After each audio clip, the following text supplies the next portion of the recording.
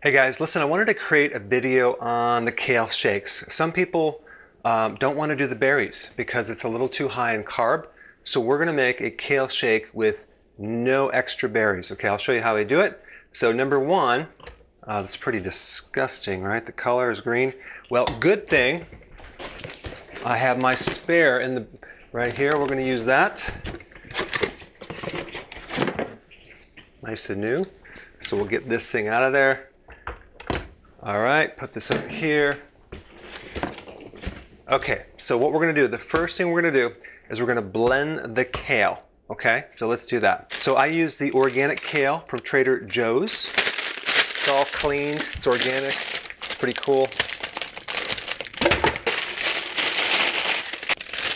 What's gonna happen, it's gonna blend up and kind of foam up and we don't want that. How much I use? Now we're going to fill it up to here with water. Okay, so we filled it up with water and now we're going to blend it. This is really complex, isn't it? It's really hard to do this. Okay, so we're going to blend this about four minutes.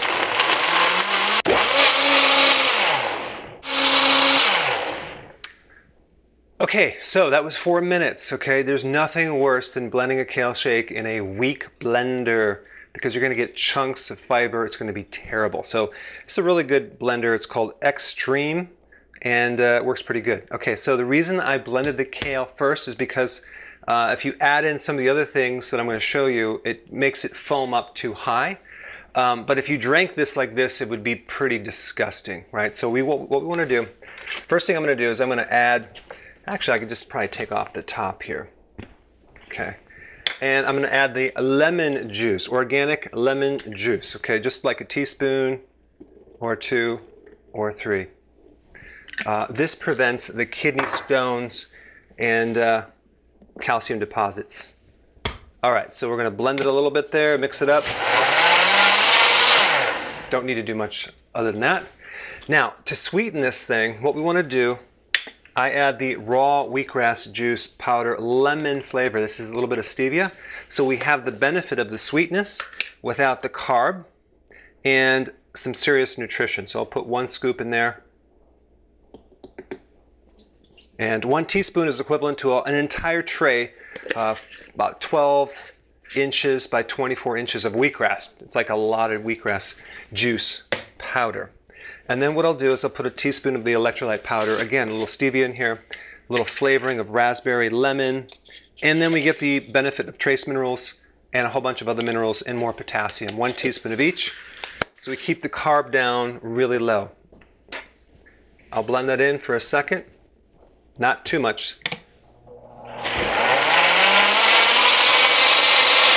Because if you overdo it, it'll just foam and come out and the whole thing, okay? Now, if you're going to consume this as a meal and you want to add coconut oil, um, you can do that at this point as well. So I'm going to go ahead and do that. I'm going to put a teaspoon of coconut oil in here. And you could add more if you want, but this really gives you some seriously good fat. And the type of coconut oil that I love, this is 100% organic, virgin, cold pressed, unrefined and then I will blend this a little bit.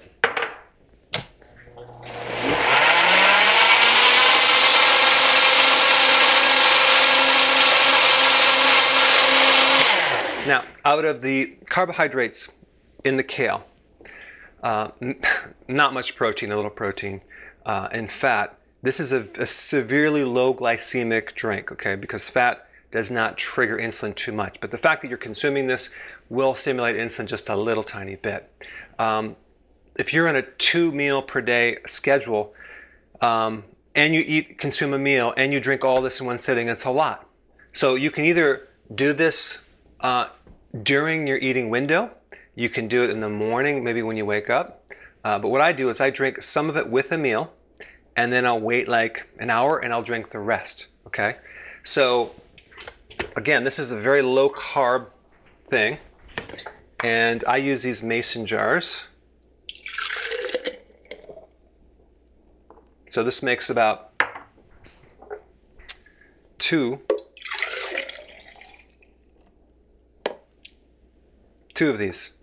So I have, this is my entire salad for the entire day. So I'll drink both of these uh, for one day. So I'll do one, wait an hour, and do the other.